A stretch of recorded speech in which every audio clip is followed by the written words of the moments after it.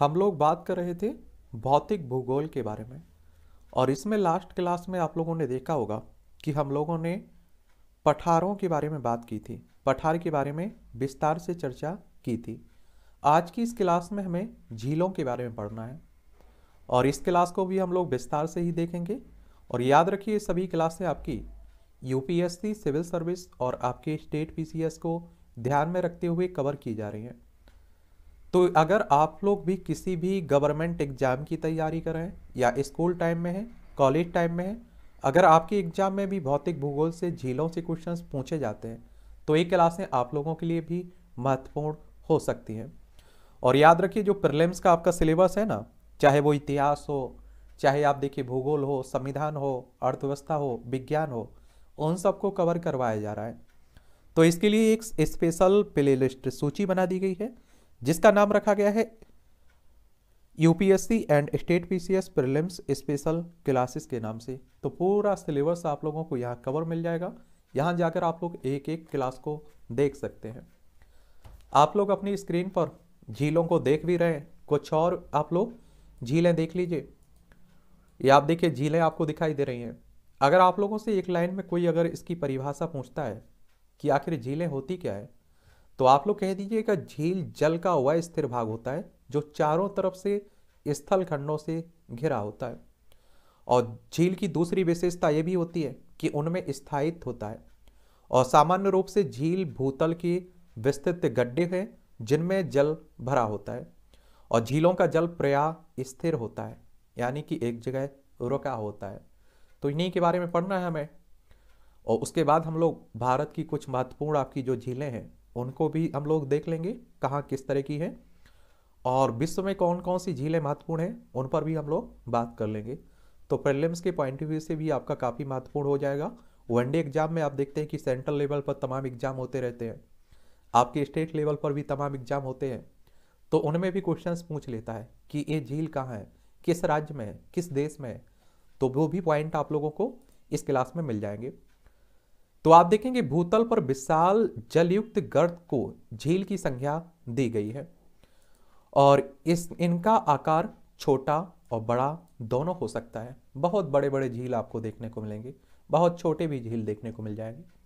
साथ ही साथ इनकी स्थिति कहीं भी हो सकती है और ऐसी दशा में इन, इनकी अर्थपूर्ण परिभाषा और व्याख्या करना अत्यंत कठिन काम है, कठिन होता है।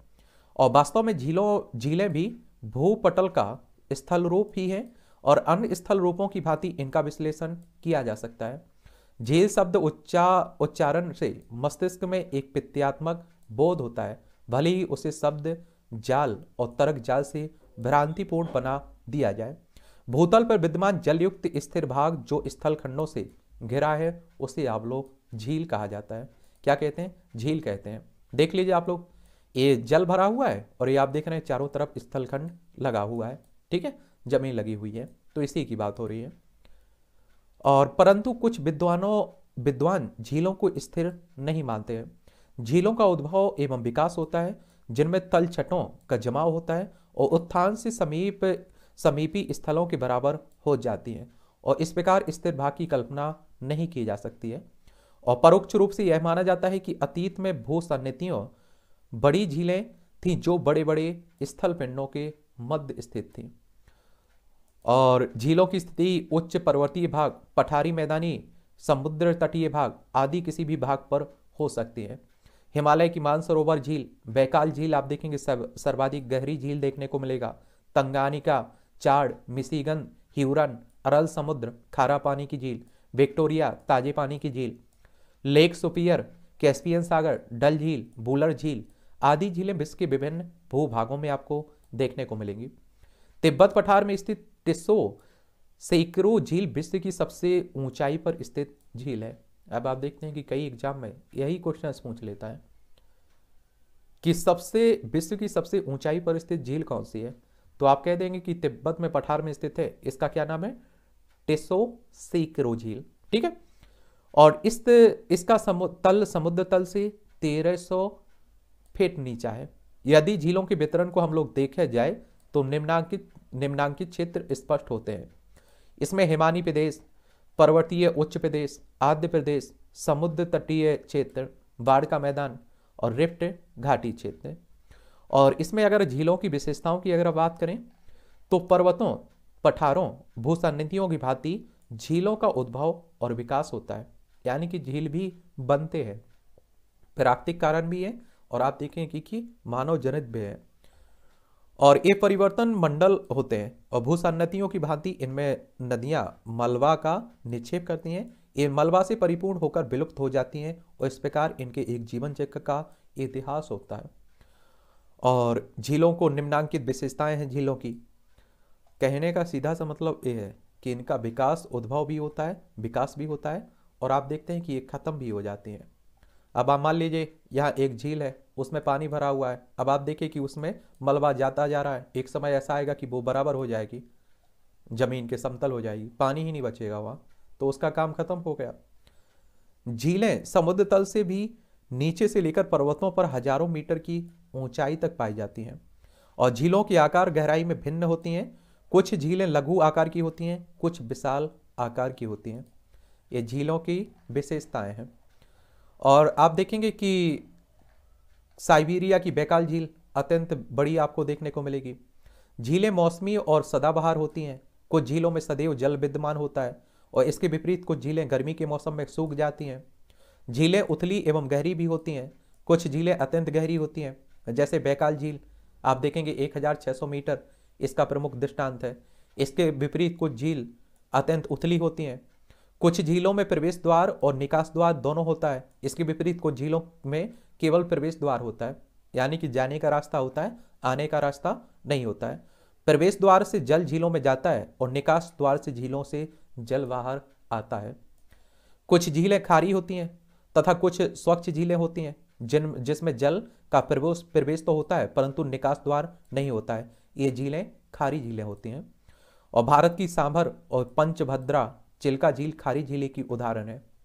ये याद रखिएगा, खारी झीलों की याद झीलों को याद रखिए और मीठे, यानी कि ताजे पानी की झीलें याद रखिएगा। ये आप देखते हैं कि कई बार ऑप्शन में दे देता है कि इनमें से कौन सी खारे पानी की झील है या ताजे पानी की झील है तो ये आप लोग याद रखिएगा। इसके विपरीत जिन झीलों में निकास द्वार होता है, वे स्वच्छ जल झीलें होती हैं। अब आप देखिए, पानी बहता जा रहा है, निकलता जा रहा है, एक तरफ़ से आ रहा है, दूसरी तरफ़ से जा रहा है तो वो आप देखेंगे स्वच्छ जल बना रहेगा और एक जगह आप देखेंगे पानी भरा रहेगा तो वो खारा हो जाता है। ठीक है? और झीलों के खारेपन को आसपास की चट्टानें भी प्रभावित करती हैं। झीलों की संरचना पर जल की मात्रा अथवा जल स्तर, जल वर्षा, बाष्पीकरण, तली की संरचना आदि का प्रभाव भी आपको देखने को मिलता है। इनकी भिन्नता के कारण झीलों का जल स्तर भिन्न भिन्न होता है और भूतल पर गर्त अथवा बेसिन की उपस्थिति या उसमें जल भरने की सुविधा झील के लिए एक आवश्यक और अनिवार्य शरत है। भौम जल स्तर का प्रभाव झील के जल की मात्रा पर पड़ता है, यानी कि भूमि के जल का।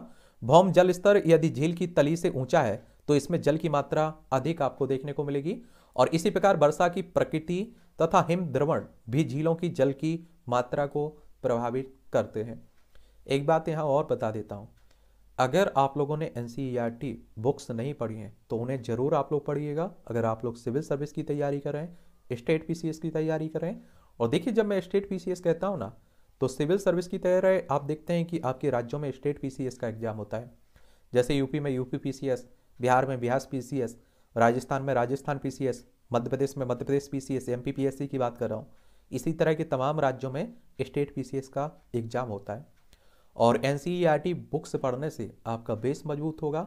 आप लोग बहुत बेहतर तरीके से समझ पाएँगे। ठीक है? और अब आप देखेंगे, झीलों का वर्गीकरण अगर हम लोग देखें क्लासिफिकेशन ऑफ़ लेक्स का। तो झीलों में जल की प्रकृति, उनका आकार प्रकार, ऊंचाई, जल की मात्रा, निर्माण प्रक्रिया, नियाम, न्या, निर्माणक, कारक आदि की भिन्नता होती है और जिस कारण झीलों में भिन्नता देखने को मिलती है, और इसी के आधार पर झीलों का वर्गीकरण किया जाता है। सबसे पहले आप देखेंगे कि ऊंचाई के आधार पर झीलों को बांटा गया है। ऊंचाई पर स्थित झील और नीचाई पर स्थित झील, फिर आप देखेंगे कि भौगोलिक स्तर के आधार पर झीलों को बांटा गया है। पर्वतीय झील और मैदानी झील, यानी कि पर्वतों पर जो देखने को मिलेंगी। और मैदानी मतलब कहने का मतलब है कि मैदान में देखने को मिलेंगी। फिर आप देखेंगे कि इसमें आगे आप लोगों को पठारी झील देखने को मिलेगी, मरुस्थलीय झील देखने को मिलेगी, हिमानी झील देखने को मिलेगी, समुद्र तटीय झील देखने को मिलेगी। फिर आप देखेंगे कि जल की प्रकृति के आधार पर भी झीलों को बांटा गया है। स्वच्छ जल अथवा ताजे पानी की झील, खारे पानी की झील, इसमें आप देखें खारे पानी की झीलों में क्षारीय झील होगी, कड़वी झीलें होंगी, मिश्रित झील होगी बोरेक्स झील आपको देखने को मिलेगी। निर्माणक कारकों के आधार पर भी झीलों को बांटा गया है। तो हिमानी हिमानीकृत झीलें, हिमानी अपर्धित झीलें, हिमानी निक्षेपित झीलें, यानी कि कहने का मतलब है कि हिमानियों से बनी हुई झीलों की बात हो रही है। फिर आप देखेंगे नदी की झील होती है, नदियों के द्वारा बनाई गई झीलें गौकोर अथवा चाप झील, रिप्ट झील अवनमन कुंड झील जलोड़ पंख झील, डेल्टाई झील। पवन की झील, यानी कि पवनों के द्वारा, बलुका स्तूप झील, ज्वालामुखी झील, यानी कि आप देखिए ज्वालामुखी के द्वारा जो झीलें बनाई गई होंगी, क्रेटर झील। अब आप देखते हैं कि जिसमें से लावा निकलता है ज्वालामुखी में, ज्वालामुखी के ज़रिए, पर आप देखते हैं कि वो सुस्त पड़ जाता है, निकलना बंद हो जाता है। उसी में आप देखेंगे जल भर जाएगा तो उसी को आप लोग ज्वालामुखी के द्वारा द्वारा निर्मित झील कह देंगे, क्रेटर झील कह देते हैं जैसे। लाबाबान झील, फटल विरूपणी झील इसमें भ्रंश झील हो गया, रिप्ट घाटी झील हो गया, अभी नती झील हो गया, अवशिष्ट झील आप लोगों को देखने को मिलेंगी। सबसे पहले हम लोग नदी किद झीलों के बारे में बात करते हैं, यानी कि नदियों के द्वारा बनाई गई झीलों की बात हो रही है। नदियाँ अपनी अपर, अपरदनात्मक और निक्षेपतात्मक क्रियाओं के द्वारा जिन झीलों का निर्माण करती हैं, उसे नदी की झील की संज्ञा प्रदान की जाती है। अब आप देखिए, एक नदी बह रही है तो वो आप देखेंगे कहीं निक्षेप के द्वारा या आप देख रहे अपर्दन के द्वारा एक क्या करेंगी? गड्ढे का निर्माण करेंगी। और उसमें जल जो भरा रह जाएगा, जो भरा रहेगा, उसी को आप लोग झील कह देंगे। अब आप देखिए, ये सीधी नदी जा रही है। मान लीजिए कि यहाँ कोई गड्ढा बना दिया, उसमें आप देखेंगे, उसको, उसके ज़रिए भी एक झील बन गई। और मान लीजिए कहीं निक्षेप कर दिया, और वहाँ आप देखेंगे पानी भरने लगा तो आप देखेंगे, निक्षेप कहने का मतलब है कि नदी के द्वारा बहाकर लाए गए कुछ अवसादों को वहाँ छोड़ देना। तो आप देखेंगे, वहाँ जो झील बनेगी तो उसे नदी के द्वारा ही माना जाएगा। किसी विशेष परिस्थिति में नदियों, नदियाँ जब अपर्दन द्वारा बहुत बड़े गर्त का निर्माण कर देती हैं, और नदियों को अगर आप लोगों ने देखा होगा तो वहाँ आप लोगों ने देखे होंगे बड़े बड़े गड्ढे हो जाते हैं। तो उन्हीं की बात हो रही है। अथवा निक्षेप द्वारा मलबा की विशाल राशि जमा कर देती हैं तो जल की अधिक मात्रा एकत्रित हो जाती है, और झील झील का रूप धारण कर लेती है, जिसे नदी के झील कहा जाता है। नदी के द्वारा बनाई हुई झील कहा जाता है। ये निम्नांकित झील नदी के झील महत्वपूर्ण है। इसमें आप देखेंगे चापाकार अथवा गोखुर झील। नदियाँ मैदानी भागों में विसर्पों का निर्माण करती हैं और विसर्पों में जब घुमाव अधिक होता है, तब इसमें जल की अधिकता हो जाती है। तब नदी अपने विसर्प का त्याग कर दे, कर सीधे मार्ग से प्रभावित प्रवाहित होने लगती हैं और परित्यक्त विसर्प में जल भर जाता है और जिसे गोखुर झील की संध्या संज्ञा दी जाती है। इस आकार, इसका आकार गाय की खुर की भांति होता है। गाय की खुर देखते हैं ना, गाय के पाँव की बात हो रही है।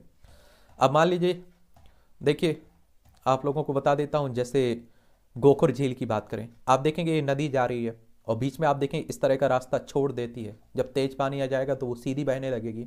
तो इसमें जो पानी भर जाएगा ना, इस आकृति को गौखुर झील कहते हैं। ठीक है?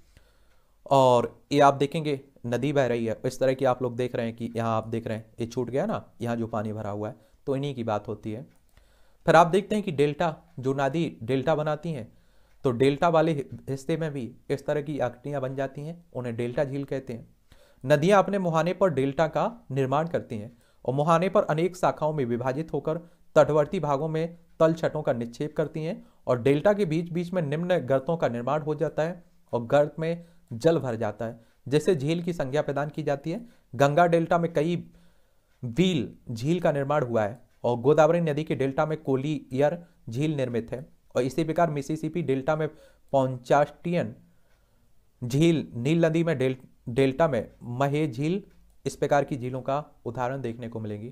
मोहाना कहने का मतलब ये नदी आ रही है, एक जगह तो कहीं मिलेगी, वहीं आप देखेंगे डेल्टा बनाएगी, वहीं आप देखेंगे कि उसके निक्षेप के द्वारा उसके आप देखेंगे गर्तों के कारण जो झील बनेगी, उन्हीं झीलों की बात हो रही है, ठीक है?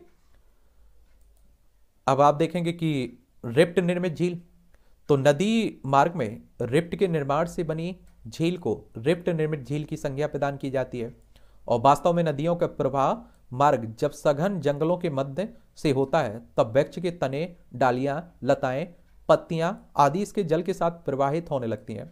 और जहाँ की जहाँ कहीं इनका मार्ग अपेक्षा के तंग हो जाता है वहाँ ये फंस जाते हैं।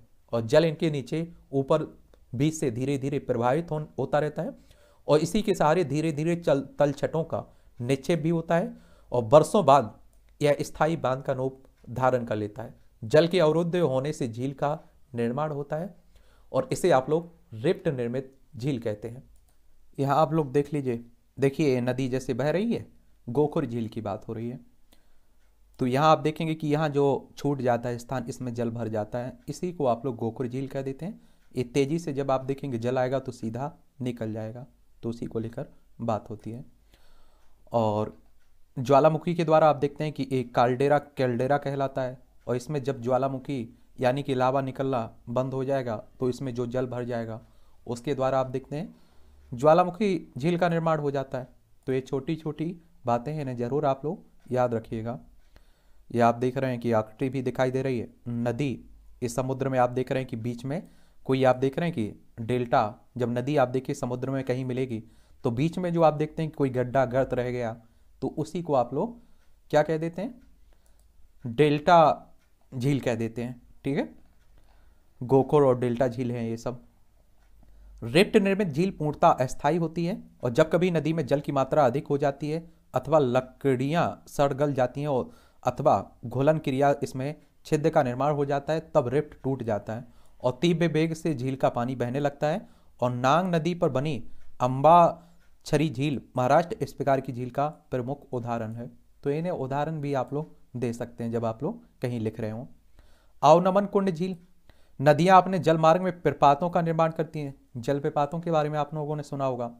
ऊंचाई से जल गिरने के कारण अनेक जल गर्तिकाओं का निर्माण होता है। अब आप देखिए, ऊपर से कोई नदी गिर रही है तो गड्ढे भी तो होंगे ज़मीन में तो उन्हीं की बात हो रही है।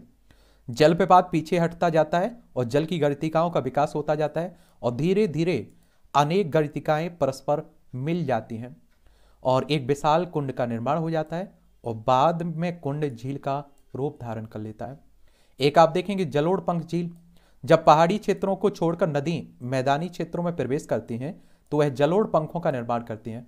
और कभी कभी जलोड़ पंख में तलछट की विशाल राशि जमा हो जाती है और नदी का मार्ग अवरुद्ध हो जाता है।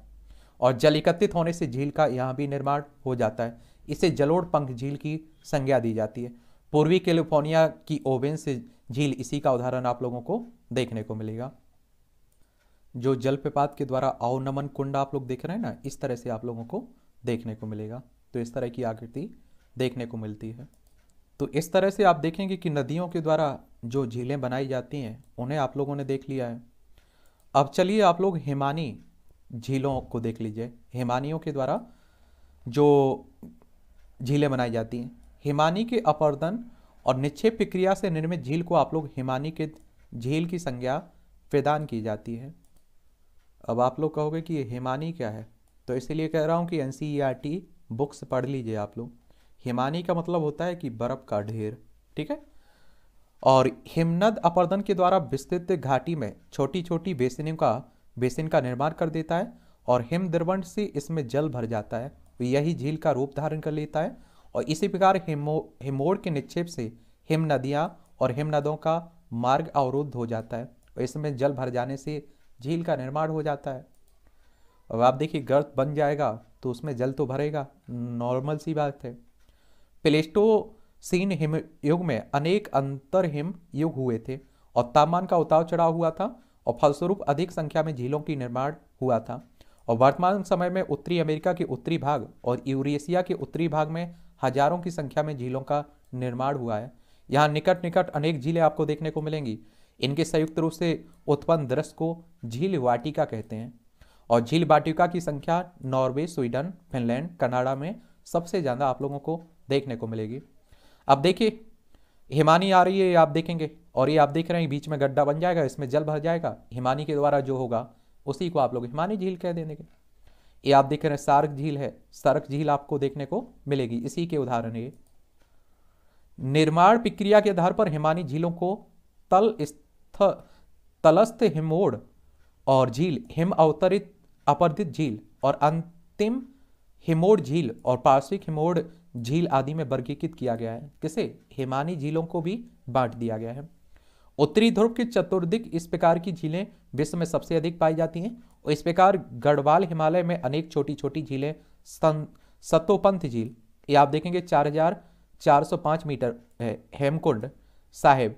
और आप देखेंगे चार हज़ार तीन सौ उनतीस मीटर। अरवा ये तीन हज़ार नौ सौ चार मीटर, केदार ताल ये आप देखें चार हज़ार दो सौ पच्चीस मीटर, और आप देखेंगे बासुकी झील ताल ये तीन हज़ार पाँच सौ चौरासी मीटर, सहस्त्र ताल ये चार हज़ार पाँच सौ बहत्तर मीटर रौन सारा ताल सप्त ऋषि ताल आदि आप लोगों को यहाँ देखने को मिलेंगी। ठीक है? तो इन्हें भी आप लोग याद रखिएगा। हिमानी के द्वारा जो बनाई जाती हैं झील, उनकी बात हो रही है। और ये आप देखेंगे तटीय झील आप लोगों को दिखाई दे रही है। यानी कि आप देखिए कि तट के किनारे जो झील बन जाती है। मान लीजिए ये तट लगा हुआ है, यहाँ से आप देख रहे हैं पानी आ रहा है और आप देखेंगे कि यहाँ भर जाता है और आप देखिए वापसी चला जाएगा ये। ज्वार भाटा इस तरह के आते हैं, उस समय निर्मित हो जाती हैं। तो इसी को तटीय झील कह देते हैं। समुद्री झील, आप देखेंगे समुद्र के बीच में आप लोगों को देखने को मिलेगी। कारने झील और इसी तरह से आप देखेंगे लेगोन झील। ये ज्वार, ज्वारीय प्रवेश द्वार ये लेगून झील आप लोगों को देख रही है, समुद्र तटीय झील रहती है। तटीय झील की बात करें तो आप देखेंगे समुद्र अथवा महासागरीय तटों पर समुद्री लहरों के अपर्दन तथा निक्षेप से निर्मित झीलों को तटीय झील की संज्ञा दी जाती है। तटवर्ती क्षेत्रों में समुद्री तरंगें भीषण प्रहार के द्वारा अपर्दन करती हैं, जहाँ पर अपेक्षाकृत मुलायम चट्टाने होती हैं, वहाँ घुसकर दूर दूर तक अपर्दन कर देती हैं। और कभी कभी छोटे से प्रवेश द्वार से प्रवेश कर स्थल क्षेत्र पर बहुत अपर्दन कर डालती हैं और इसमें जो जल भरा रहता है, इसे झील की संज्ञा दी जाती है। भारत की चिल्का झील इसी का उदाहरण आपको देखने को मिलेगा। समुद्री लहरें निक्षेप क्रिया द्वारा भी झीलों का निर्माण करती हैं। अब आप देखिए समुद्री लहरें कुछ अपने साथ ला रही हैं और तट पर छोड़ दे रही हैं और आप देखें, उससे झील का निर्माण होता है। और खाड़ी के दोनों शीर्षों से निक्षेप क्रिया चलती रहती है। तब कलांतर में झील के रूप में जल बंद हो जाता है। इसे लेगून की संज्ञा प्रदान की जाती है लेगून झील की। आपको बताया ना? देखिए, इसकी बात हो रही है। ठीक है? आप देखिए, दोनों तरफ़ निक्षेप छोड़ देगा तो बीच में जो गड्ढा रह जाएगा एक तरह से, उसी को आप लोग झील कह देते हैं, लेगून झील। और तब कलांतर में झील के रूप में जल बंद हो जाता है, और इसे लेगून की संज्ञा दे दी थी। कभी कभी लेगूनों का कुछ भाग समुद्र की ओर खुला रहता है।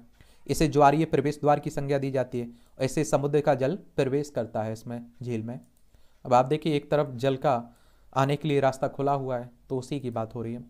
कभी तटवर्ती क्षेत्रों में द्वीपों का निर्माण एक के बाद एक क्रमशः हो जाता है, जिससे तट और द्वीप के मध्य जल बंद हो जाता है और जिससे तटीय झील की संज्ञा दी जाती है। इस प्रकार समुद्र के तट के सहारे पलवाल भीतियों का निर्माण भी होता है और निक्षेप क्रिया से ये समुद्र सतह अथवा इससे ऊपर आ जाता है और इससे तटीय झील का निर्माण होता है।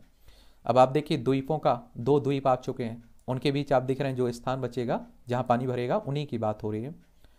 समुद्रों में स्थित द्वीपों के चारों ओर प्रवाल बलयों का निर्माण हो जाता है और जिससे झील का निर्माण हो जाता है। कभी कभी इसका कुछ भाग समुद्र की ओर खुला रहता है, इससे समुद्र का जल अंदर आ जाता है। तो इसके ज़रिए भी आप देखेंगे, क्या बनेंगी? झीलें बन जाती हैं। और प्रवाल बलय द्वारा निर्मित झील आप लोगों को दिखाई दे रही है। देखिए प्रवाल ये चारों तरफ़ आप देख रहे हैं, यहाँ खुला हुआ है, यहाँ से ज्वारीय प्रवेश द्वार है, यहाँ से जा सकता है।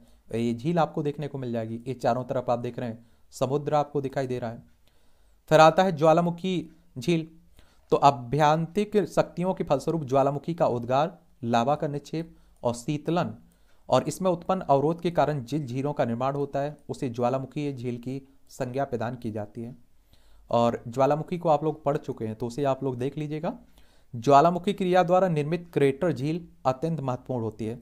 जब ज्वालामुखी का उद्गार शांत हो जाता है और उसका मुख अथवा विवर अत्यंत चौड़ा हो जाता है, तब उसमें जल भर जाता है। इससे झील का निर्माण होता है और इसे क्रेटर झील की संज्ञा दी जाती है। और संयुक्त राज्य अमेरिका के क्रेटर लेक इसका प्रमुख उदाहरण है। इसकी गहराई तीन हज़ार नौ सौ पचहत्तर मीटर आपको देखने को मिलेगी। मान लीजिए कि आप देखिए ज्वालामुखी, ये आप देखेंगे कि ज्वालामुखी के ज़रिए लावा निकल रहा है। ये लावा एक समय के बाद आप देखें निकलना निकलना बंद हो जाएगा और इसी में आप देखेंगे इस तरह से जल भर जाएगा। इसी को आप लोग ज्वालामुखी के द्वारा बनी हुई झील कह देते हैं, ठीक है? तो इसे क्रेटर झील की आप लोग संज्ञा दे देते हैं। संयुक्त राज्य अमेरिका की क्रेटर लेक, इसका उदाहरण आपको देखने को मिलेगा। ज्वालामुखी झील, यहाँ भी आप लोग देख लीजिए। देखिए पहले इसमें से ज्वाला निकल, क्या निकल रहा था? लावा निकल रहा था। लावा में आप देखें कि कि गाढ़ा लावा, पतला लावा, इसमें कंकड़ रहते हैं, बाष्प रहते हैं, जल भी रहता है, बहुत सारी गैसें भी रहती हैं। इनको हम लोग बात कर चुके हैं ज्वालामुखी वाले टॉपिक में। इसमें आप देखेंगे बाद में पानी भर जाएगा, उसी के, उसी को ज्वालामुखी झील कह देंगे आप लोग। ज्वालामुखी उद्गार के फलस्वरूप फलस्वरूप जब लावा का प्रवाह होता है, तब कभी कभी नदी का मार्ग इसके ठंडा होने से अवरुद्ध हो, ही जाता है और लावा की इस बाँध के निर्माण से नदी का जल एकत्रित हो जाता है। इसे लावा बाँध कहा जाता है। लावा बाँध झील की संज्ञा प्रदान की जाती है। टाइ, टाइन झील, अबिसीनिया में निगारा निगारा गुआ अमेरिका में आदि इसका उदाहरण देखने को मिलेगा। कहने का मतलब है लावा निकल रहा है और लावा के ठंडे होने से आप देखेंगे कि नदी के मार्ग में अवरोध हो जाएगा और अवरोध हो जाएगा तो उसमें जो जल भर जाएगा, उसी की बाँध हो रही लावा बाँध झील के नाम से आप लोग जान लेते हैं। ज्वालामुखी के उद्गार से लावा पठार अथवा लावा मैदान का निर्माण होता है। पठार अथवा मैदान में कभी कभी ऊँचा नीचा भाग बन जाता है और नीचे के भागों में जल भर जाने से झील का निर्माण होता है। इसे लावा पठार अथवा मैदान की झील की भी संज्ञा आप लोग दे देते हैं। तो यानी कि जल भरने के लिए गढ़ चाहिए, गड्ढा चाहिए। वो किस तरह से गड्ढा बन रहा है, उसी को आप लोग उसी तरह की झील कह देते हैं। पटल विरूपणी झील भूगर्भिक बलों के क्षेत्रीय और ऊर्ध्वाधर संचलन के कारण भूपटल में परिवर्तन होता है और अन्य क्रियाओं की भांति स्थलखंड के कुछ भाग ऊपर उठना तथा कुछ पर अवतलित होना भी महत्वपूर्ण होता है। अवतलित भाग में जलापूर्ति से झीलों का निर्माण होता है, इसे पटल विरूपणी झील कहा जाता है और निम्नांकित पटल विरूपणी झील महत्वपूर्ण है। अब आप मान लीजिए दो प्लेटें टकरा रही हैं, एक ऊपर उठ जा रही है, या आप देख रहे हैं कि उसका हिस्सा ऊपर उठ जा रहा है, उसमें आप देख रहे हैं कि गर्त बन जा रही है। उसी को आप लोग क्या कह देते हैं? ये आप लोगों को देखने को मिलेगा। अभिनतीय झील, पृथ्वी के अंतर्जात बलों की क्षेत्रीय संचलन से भूपटल की चट्टानों के में बलन की क्रिया होती है। बलन यानी कि मुड़ जाना, बलन पड़ जाना। कुछ भाग अवनति के रूप में ऊपर उठ जाते हैं और कुछ भाग अभिनति के रूप में अवतलित हो जाते हैं, नीचे आ जाते हैं और अवतलित भाग में जल भर जाने से झील का निर्माण हो जाता है। इसे अभिनतीय झील कहा जाती है। अफ्रीका की एडवर्ड गार्ज आदि झीलें इसका उदाहरण देखने को मिलेगा। अब आप देखिए, एक ऊपर हिस्सा उठ गया, एक नीचे बना रहा, उसमें आप देखिए, नीचे वाले में पानी भर गया, इसी झील की बात हो रही है। रेप्ट घाटी झील, भूगर्भी बलों के क्षेत्रीय संचलन से चट्टानों में खिंचाव उत्पन्न होता है और चट्टानों में भ्रंश उत्पन्न हो जाती है और कभी कभी दो भ्रंशों के मध्य का भाग नीचे धस जाता है और अवतलित भाग में जल भर जाने से झील का निर्माण हो जाता है, इसे रिप्ट झील कहते हैं। अब आप देखिए कि ऊपर इस तरह से आप देख रहे होंगे। और चट्टानों में भ्रंश, और कभी कभी दो भ्रंश के मध्य का भाग नीचे, मान लीजिए ये समतल ज़मीन है। इसमें आप देख रहे हैं कि भ्रंश पड़ रही है, और इसमें आप देख रहे हैं कि ये बराबर खड़ी हुई है अगल बगल लेकिन बीच में आप देखेंगे कि नीचे धस जाएगी ज़मीन तो उसी की बात हो रही है।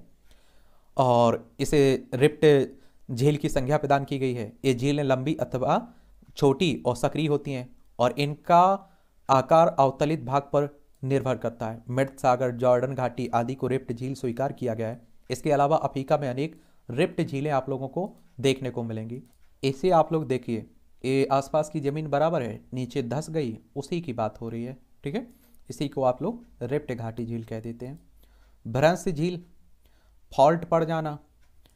तो अंतर्जात बलों के क्षेत्रीय संचलन से पपड़ी की ऊपरी चट्टानों में तनाव खिंचाव की शक्तियाँ कार्य करती हैं और फलस्वरूप चट्टानों में बड़ी स, बड़ी दरारें पड़ जाती हैं और इनसे जल भर जाने से झील के रूप में परिवर्तित हो जाती हैं और जिन्हें भ्रंश झील की संज्ञा दी जाती है।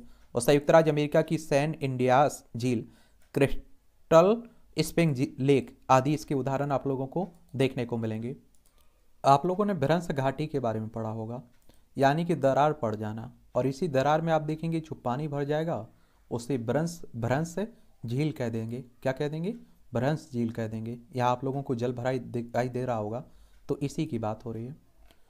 और देख लीजिए, यहाँ भी आप लोग दिखाई दे रहे हैं। भ्रंश झील हो गई है।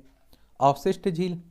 तो महासागरीय किनारों में महाद्वीपीय चबूतरों पर अनेक गर्त रहते हैं। और जब समुद्र तल का अवतलन हो जाता है, तब महाद्वीपीय चबूतरी स्थल के रूप में बदल जाते हैं। और गर्त जो जल युक्त रहता है, वह अब झील के रूप में आप लोगों को देखने को मिलती है। और इसे अवशिष्ट झील की संज्ञा हम लोग दे देते हैं। और उपयुक्त झीलों के अलावा चट्टानों के सामूहिक स्थानांतरण से बनी अनेक लघु अथवा बड़ी अस्थायी अथवा स्थायी झीलें पाई जाती हैं। इनमें भू स्खलन निर्मित झील, पंख प्रवाह निर्मित झील आदि आपको देखने को मिलेगी। नदी, वायु, समुद्री लहरों के अलावा निक्षेप द्वारा वनस्पतियों, लावा प्रवाह जीवों, भू, भूस्खलन आदि के द्वारा भी झीलें बनती हैं, तब इनका अस्तित्व समाप्त हो जाता है। और भूसन्नति झीलों तथा झीलों के विश्लेषण से स्पष्ट होता है कि समय के ऐतिहासिक परिप्रेक्ष्य में झीलें विलीन भी हो जाती हैं। और जहाँ पर वर्तमान समय में मोरदार पर्वत हैं, वहाँ अतीत में भूसन्नतियाँ थीं। और इसी प्रकार बहुत सी अतीत की झीलें प्लेट संचलन अथवा जलवायु परिवर्तन के कारण समाप्त हो गई हैं, अथवा उनका रूप परिवर्तित हो गया है। एक बार आप लोग झीलों को देख लीजिए। देखिए, सबसे पहले आप लोग भारत की झीलें देख लीजिएगा, इनसे क्वेश्चन पूछ लेता है। तो सबसे पहले ऊपर चलिए आप लोग, लद्दाख चलते हैं। कहाँ चलते हैं? लद्दाख। और देखिए, यही पूछा जाएगा ये परिभाषाएँ परिभाषाएँ तो आप लोग देखेंगे। आप लोग एन e पढ़ेंगे तो बहुत बेहतर तरीके से और भी समझ में आपको आ जाएगा। लेकिन आप देखेंगे प्रिलिम्स में इस तरह के क्वेश्चंस पूछे जाते हैं कि ये झील कहाँ है? या आप लोगों को नीचे क्रम से लगाने के लिए कह दिया जाएगा, राज्यों को क्रम से लगाने के लिए कह दिया जाएगा। तो आप सबसे पहले लद्दाख चलिए। प्रा प्रागोंग, त्रिसो त्रिसो मोरिरी, त्रिसो करलेक, ये सभी आपको लद्दाख में देखने को मिलेंगे। फिर आप लोग जम्मू में आ जाइए, जम्मू कश्मीर में।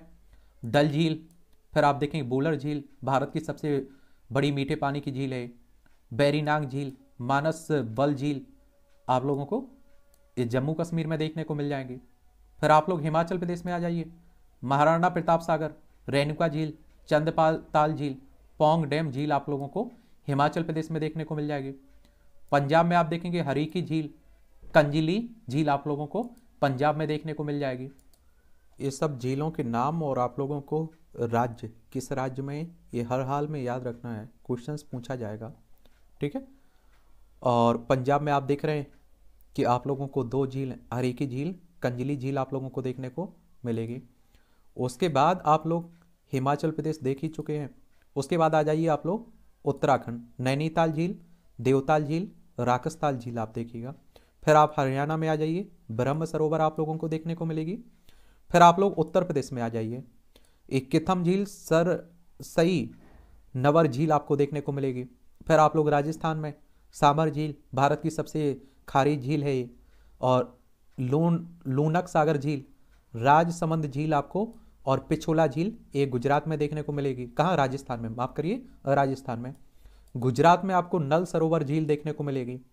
फिर आप लोग मध्य प्रदेश में आएँगे तो भोज ताल आप लोगों को देखने को मिलेगा। बिहार में काबरताल, सिक्किम में चुलामू चुलामू झील और भारत की सबसे अधिक ऊंचाई पर झील है फिर असम में आप देखेंगे दिपोर झील और मेघालय में आपकी उमियन झील और आप देखेंगे मणिपुर में लोकटक झील और आप देखेंगे त्रिपुरा में रुद्र सागर झील, फिर उड़ीसा में चिल्का झील, भारत की सबसे बड़ी लेगून झील है।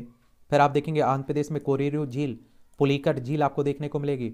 महाराष्ट्र में लोनार झील और कर्नाटक में आप देखेंगे आपकी एक तो अष्टमुदी झील है और बिमनाथ झील है और सस्थ सस्थम कुट्टा झील आपको देखने को मिलेगी। एक बार फिर से बता देता हूँ, याद रखिएगा। हिमाचल प्रदेश में भृगु, मच्छियाल, रेणुका, सूरजताल, चंदताल है। और वहीं लद्दाख में आपकी प्रोगोंग, त्रिसो त्रिसो मोरीडी तिरसो, करले, तिरसो तिरसो जुड़ा हुआ है, यानी कि आप देखें लद्दाख में। फिर आप देखेंगे डल झील, बूलर झील, बेरीनांग झील, मानस वल झील, ये आपको जम्मू कश्मीर में देखने को मिलेगा। उत्तराखंड में अगर आप देंगे तो नैनीताल हो गया डोडी ताल हो गया, भीमताल सात ताल नोकू, छियाताल, देवताल, खुरपाताल, राकस्ताल, मालाताल, ये आप लोगों को छोटी छोटी और झील देखने को मिलेंगी। चंडीगढ़ में भी एक झील है, सुखना झील आपको देखने को मिलेगा। राजस्थान में भी कई झीलें हैं, जिनमें आप देखें राजसमंद, जयसमंद, नक्की, सांभर, फतेह सागर, लोनक, लोन करसर, डीडवाना, पिछोला, आना सागर, कुचा, मन, ढेबर, पुष्कर। महाराष्ट्र में लोनार और पोवई झील है, कर्नाटक में बेलांदूर, केरल में बेम्बनाड और अष्टमुडी, सिक्किम में सोंगमा, मणिपुर में लोकटल, उड़ीसा में चिल्का, तेलंगाना में हुसैन सागर, नागार्जुन सागर आंध्र प्रदेश में कोलेरू पुलिकट तमिलनाडु में कोडाई कोडाई कनाल और काली वेली हरियाणा में सूरज कुंड आपको देखने को मिलेगा। भारत की सबसे बड़ी झील अगर आपसे पूछे तो चिल्का झील आप लोगों को याद रखना है। कौन सी? चिल्का झील, भारत की सबसे बड़ी झील। और चिल्का झील उड़ीसा में आप लोगों को देखने को मिलती है। ए प्रेलिम्स के पॉइंट ऑफ़ व्यू से बोल रहा हूँ, इनसे क्वेश्चंस पूछे जाएँगे। वनडे एग्ज़ाम में डायरेक्ट ही क्वेश्चंस पूछ लेगा। चिल्का एक लेगून झील है, जिसका कारण इसका जल खारा आपको देखने को मिलता है। पुलिटकट झील भारत की दूसरी सबसे बड़ी खारी पानी की झील है। ये भी याद रखिएगा। कभी कभी समुद्र अवसादों के कारण लेगून झीलों का मुहाना अवरुद्ध हो जाता है। ऐसी स्थिति में लेगून झीलों का सागर से सीधा संपर्क नहीं हो पाता है, जैसे उदाहरण के लिए गोदावरी, कृष्णा नदी, डेल्टा के बीच स्थित कोलेरू झील है आपको। ठीक है? तो ये भी याद रखिएगा। ये भी आपसे क्वेश्चंस पूछे तो आप लोग बता सकते हैं। और मानव निर्मित झील है। गांधी सागर झील आप लोग देखते हैं। मध्य प्रदेश में, राजस्थान में जवाहर सागर झील, राणा प्रताप सागर झील, ये मानव के द्वारा बनाई गई झीलें हैं। तो इस तरह की झीलें आप लोगों को देखने को मिलती हैं। क्या? देखने को मिलती हैं। अब चलते हैं हम लोग दुनिया पर। ये तो भारत की हो गई। ये दुनिया की कुछ महत्वपूर्ण झीलें आप लोग देख लीजिएगा। अगर आप लोग कैस्पियन सागर में देखें, कैस्पियन सागर भी आपकी झील ही है, एक कैस्पियन सागर है। इससे संबंधित अगर आप लोग क्षेत्र देखें तो रूस आप देखते हैं, लगता है कैस्पियन सागर से। कजाकिस्तान है, तुर्कमेनिस्तान है, अजरबैजान है और ईरान आपको देखने को मिलेगा। और उसके बाद सुपियर झील, ये आप लोगों को अमेरिका और कनाडा में देखने को मिलेगा। कौन सी? सुपीरियर झील। ठीक है तो ये भी आप लोग याद रखिएगा। तो पियर झील आप लोगों को देखने को मिल जाएगी। ग्रेट विरियर लेक भी है आपको। एक ग्रेट स्लेब लेक, यानी कि झील। और लेक विनपैक झील, ग्रेट लेक्स झील, great salt lake lake Titicaca a lake Chad, Tanzania. Lake a Nyasa. Lake a Victoria. Lake Turkana, lake Tana, Aral Sea lake Balkhash lake Baikal, lake Ladoga और lake बर्मैन बर्नर्न और Caspian सागर हो ही गया ये आप लोग याद रखिएगा, इनमें क्वेश्चंस पूछ लेता है कई बार। और क्षेत्र के के अनुसार विश्व की सबसे बड़ी झील आपका कैस्पियन सागर है, जो एशिया में स्थित है और पाँच देशों की सीमा से लगता है। कैस्पियन सागर का क्षेत्रफल अगर आप देखें तो आप देखेंगे तीन लाख इकहत्तर हज़ार वर्ग किलोमीटर में फैला हुआ है और अजरबैजान की राजधानी बाकू समेत कई शहर कैस्पियन सागर के किनारे आपको देखने को मिलेगा। कैस्पियन सागर में बोलगा नदी यूराल नदी आदि कई शामिल हैं और क्षेत्र के अनुसार विश्व की सबसे बड़ी दूषित पानी की झील सुपियर झील है, जो उत्तरी अमेरिका में आप लोगों को देखने को मिलेगी। सुपियर झील अमेरिका और कनाडा में देखने को मिलेगा और सुपियर झील पृथ्वी की सतह के स्वच्छ जल का ये आप लोगों को कितना? दस परसेंट देखने को मिलेगा, ठीक है? और उत्तरी अमेरिका में महान झील आपको देखने को मिलेगी, जिसमें पाँच प्रमुख झील झीलें सुपियरन झील, सुपीरियर झील, ह्यूरन झील, मिशिगन झील और एरी झील, ओंटारियो झील। विश्व की सबसे गहरी झील बैकाल झील है, जो रूस में आपको देखने को मिलेगा। 1642 मीटर गहरी है और बैकल झील विश्व की सबसे पुरानी, सबसे, विश्व की गहरी झील बैकाल झील है और बैकाल झील विश्व की सबसे पुरानी, सबसे गहरी और आयतन के अनुसार सबसे बड़ी झील है। बैकाल झील को उन्नीस सौ छियानवे में यूनेस्को विश्व धरोहर में शामिल किया गया था। तो ये भी आप लोग याद रखिएगा इसमें। तो ये आप लोगों को मीठे पानी की झील आप देखिए सुपियर झील आप लोगों को देखने को मिलेगी। मीठी, मीठे पानी यानी कि स्वच्छ जल की बात हो रही है। ठीक है? और फिर आप देखेंगे विश्व की सबसे लंबी झील टंगानिका है। झील है, जो अफ्रीका महाद्वीप में देखने को मिलेगा। टंगा टंगानिका झील की लंबाई 643 किलोमीटर है। टंगानिका झील बैकाल झील के बाद दूसरी सबसे पुरानी गहरी और आयतन के अनुसार दूसरी सबसे बड़ी झील है। मैथ सागर जो इजराइल जॉर्डन सीमा पर आपको पृथ्वी तल पर सबसे गहरी जल सतह है। विश्व की सबसे ऊँची नौगम्य दृष्टि से झील टीटीकाका झील है। ये भी आप लोग याद रखिएगा। ये दक्षिणी अमेरिका देश पेरू और बोलविया की सीमा पर आपको देखने को मिलेगी। तो ये कई बार क्वेश्चंस इस तरह के भी पूछ लेता है। क्या करता है? पूछ लेता है कई बार।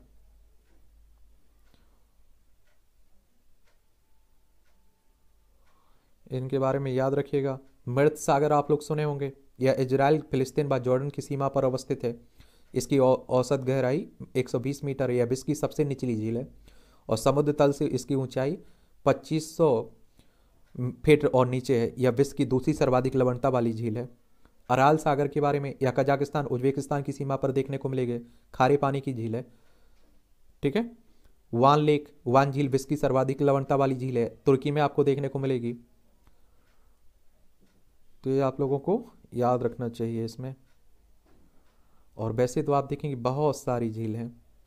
विश्व में सर्वाधिक झीलें कनाडा में देखने को मिलेंगी। झीलों का देश फिनलैंड को कहा जाता है। ये भी आप देखते होंगे। लेक आयर ऑस्ट्रेलिया में आपको देखने को मिलेगी झील।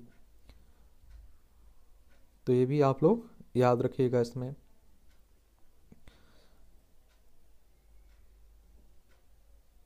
चलिए तो एक कहानी हो गई और आप लोग मैप का सहारा लेकर झीलों को पढ़ा करिएगा। विश्व मैप के नाम से एक आपकी प्लेलिस्ट सूची बनी हुई है, उसे कवर ज़रूर कर लीजिए। उनमें सबका, हम लोगों ने मैप का सहारा लेकर पूरा भूगोल पढ़ाया है, वहाँ देखा गया है। तो इन्हीं से क्वेश्चंस पूछ लेगा और आप लोग आंसर दे देना। और कोई सुझाव हो, मेरे लिए सलाह हो तो आप लोग ज़रूर बताइएगा, क्योंकि मैं भी नई ही क्लासें शुरू की हुई हैं। तो इसमें अगर कोई कमी रह जाती है, कोई सुधार की गुंजाइश है तो आप लोग सलाह ज़रूर दे सकते हैं। और मुझे लगता है कि देनी चाहिए सलाह तो कुछ और भी सुधार कर पाएँगे। मानचित्र के नाम से प्लेलिस्ट सूची बनी हुई है। उसमें बहुत सारी क्लासें पड़ी हुई हैं। विश्व का पूरा भूगोल आप देखेंगे, उसी के ज़रिए पढ़ाया गया है। तो उससे काफ़ी आप लोगों को मदद मिलेगी। और मैप का सहारा लेकर आप लोग जब कभी पढ़ते हैं ना तो लंबे समय तक आप लोग याद रख पाते हैं। अब आप देखिए, आप लोग पढ़ेंगे कि लद्दाख में ए झीलें हैं या जम्मू कश्मीर में ये झीलें हैं तो आप लोगों को याद रख पाएगी अच्छा मैम, में, हमने वहाँ देखा था, ये झील अच्छा वहाँ है। ठीक है तो इसी तरह के क्वेश्चन पूछे जाते हैं। अगली क्लास में हम लोग झीलों के बाद आता है, चट्टानों के बारे में हम लोग पढ़ेंगे, चट्टान के बारे में बात करेंगे। ठीक है?